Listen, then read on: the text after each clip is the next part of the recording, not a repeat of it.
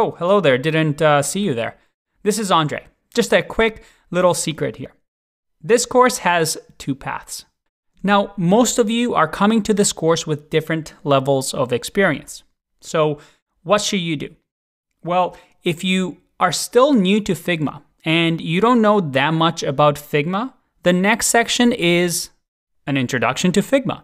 So continue with the course, keep watching the lessons in order, and we'll introduce you to the basics of Figma so you can follow the rest of the course.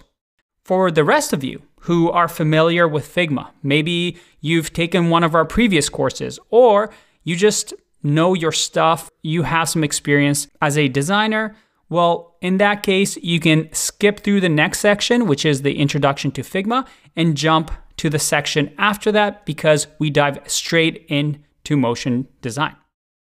All right, let's go have some fun. I'll see you in the next one. Bye bye.